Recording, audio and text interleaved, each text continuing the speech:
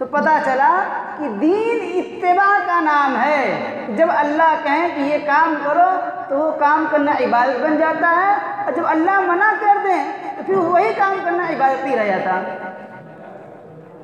इसलिए अपनी तरफ़ से किसी चीज़ का इजाफा कर लेना, गढ़ लेना, और अपनी तरफ़ से किसी चीज़ को सवाब का काम समझ लेना यह ख़तरे की चीज़ है, इससे दीन तब्दील होता है। पिछली उम्मतों में इस इसी तरीके से जो दिन तब्दील हो गया, कुछ से कुछ हो गया। तो बहरहाल, ये रजब का महीना जो है, अल्लाह के नबी सल्लल्लाहु अलैहि वसल्लम ने दुआ फरमाई, अल्लाह मुबारक लना रजब व शाबान।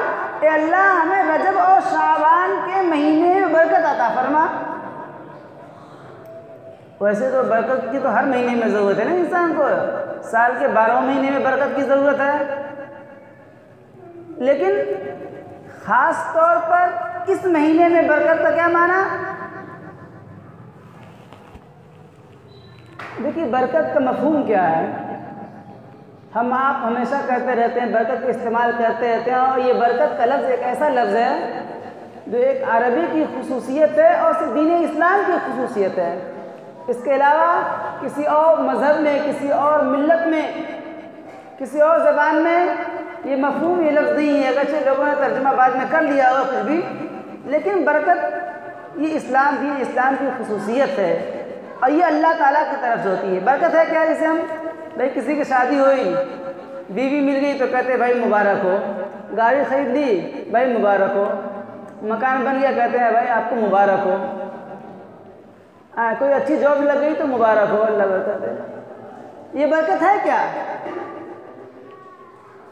बरकत का क्या माना? तो बरकत का माना ये है कि अल्लाह की नेमतों का सही इस्तेमाल, उससे सही फ़ायदा हो जाए। और ये अल्लाह की नेमत अल्लाह ही की तरफ़ अदा करता है। घर खरीद लिए तो घर हमने एक राहत का असबाब है। लेकिन ज़रूरी नहीं कि हमें उस घर से राहत मिले। हो सकता है हमने घर खरीदा है। उसकी वजह से परेशानियाँ बढ़ गई हों। उस पर मुकदमा फंस गया। गाड़ी खरीदी।